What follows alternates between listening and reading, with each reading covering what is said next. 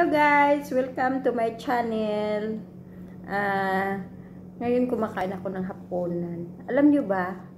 Ah, dati kasi nung dati kasi kumakain ako paggabi ng ano ng kanin. Tsaka katulad din sa atin sa Pinas nagkakain ako ng kanin. Yung regular na ano hapunan. Pero tumaba ako nang nag-ano ko ng kanin na sige-sige ako ng kanin. Kaya ginawa ko kada gabi, paano ko sa inyo kung paano ako nag ano dati kasi ang ano ko taba ko kung paano ako pumayat. Ah ngayon nagainom na lang ako ng shahi yung tea sa gabi. Tapos nagkakain ako nitong dates. Itong dates siya first nga dates. Kasi ito daw ang isa, ang isang ganito daw na ano nga dates katumbas daw to ng tatlong itlog. Pampaganda din daw to ng ano ng skin. At saka maganda din daw to sa heart ang dates. Kaya kumakain ako nito ng dates. Tamis. Kasi ano ngayon ng ano seasoning ngayon ng dates dito sa Kuwait. Kaya marami kaming ganito. Pero kung wala na siyang hindi fresh, mayroon kami mga dates na ano yung na ano na ba, yung napak na yun kinakain ko tuwing ano tuwing tapos kain. Pero mas maganda itong dates na to. Mm. Mm. Tamis. Yan. Yung kinakain ko pag gabi.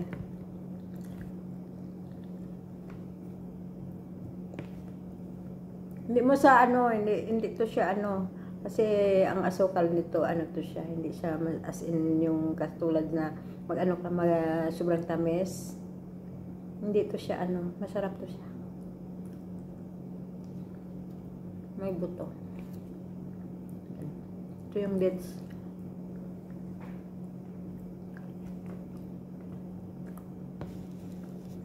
Ito na yung hapunan ko sa gabi.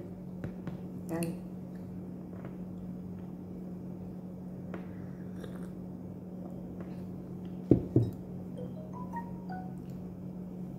Kaya kung gusto nyo, kung sinong gustong nga gusto mag-loss ng ano, timbang, i-try nyo to.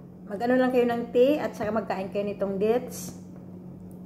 Ano, talagang effective talaga to.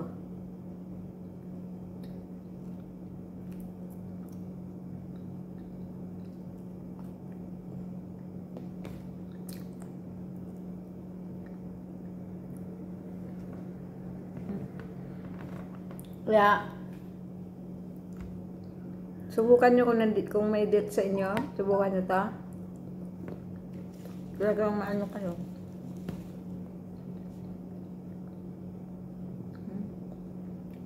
Ito yung pinatawag na dates. Ito.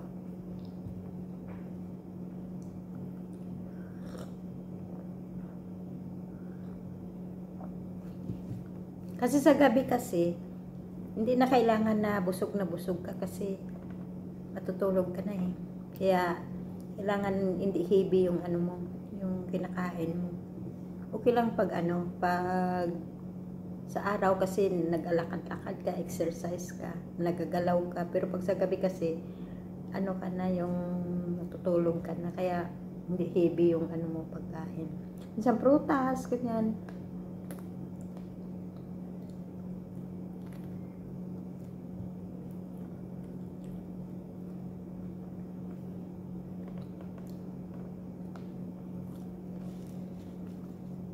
Ito kasing dates na to, dito lang to sa Middle East.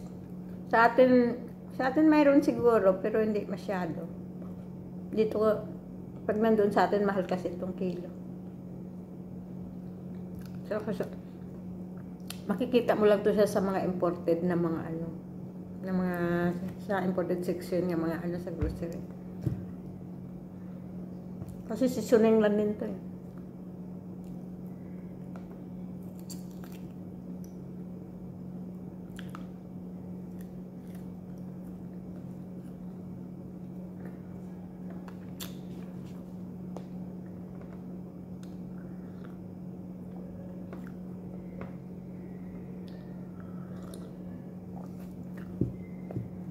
Ano ba nakain ko?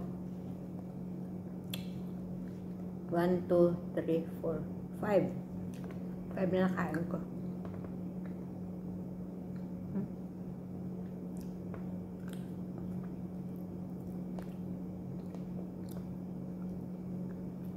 Huwag ka din na kain ng makain. Huwag mo din sobrahan magkain ng ganito kasi masama din. Mga sampo, okay na. Pero yung sobra-sobra na, hindi naman pwede nga sobra-sobra yung kakain ka ng des na sobra-sobra. Masama din.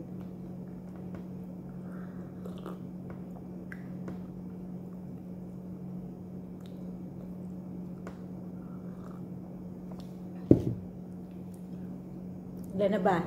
2, 4, 6. Yan. Hmm.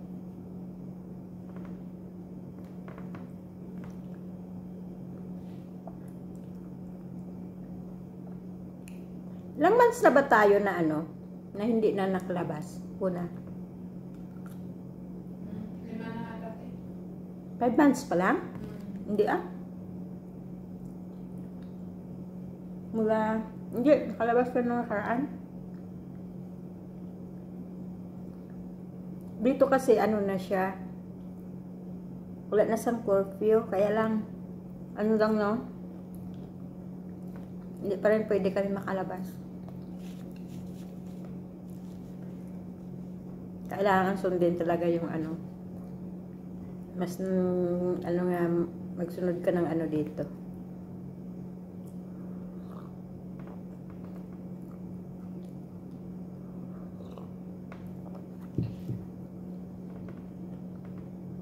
Two, four, six, seven, two, four. Nabilang ko kasi yung buto. Hmm, Ito. Itong dates.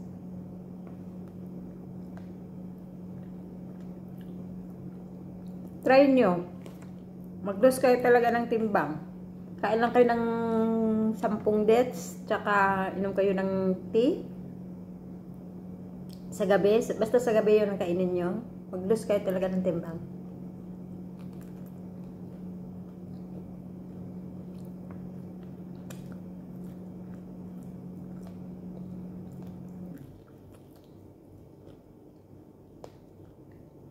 Four, five, six, seven, eight.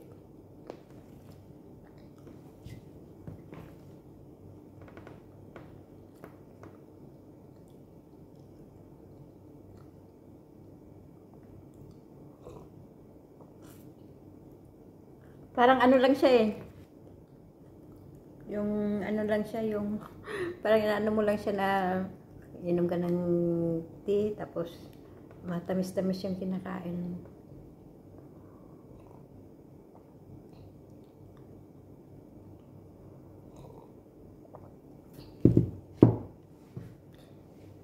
Hindi mo na kailangan ang tea lagyan ng asukal kasi matamis na to eh. Pero ako kasi naglalagay kasi ako ng asukal sa kutsareta kasi maano ako sa asukal.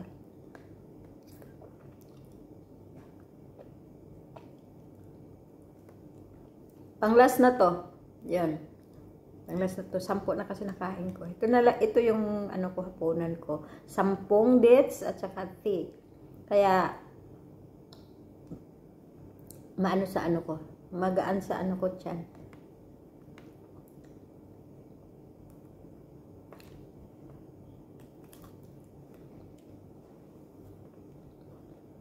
Sobra to eh. Bigay ko to sa ano. Sa kaibigan ko dito. Yan lang guys. Tapos na hapunan. Yan lang ang ano ko sa inyo. Tips kung paano mag-lose ng weight. Sampung dates at saka isang tea, uh, is, uh, isang mag-inom kayo ng tea at saka sampung dates. Solve na ang hapunan papayat na kayo. Gawin nyo yan. Try nyo gawin. Thanks guys. Thanks for watching. Please uh, like and subscribe. Bye!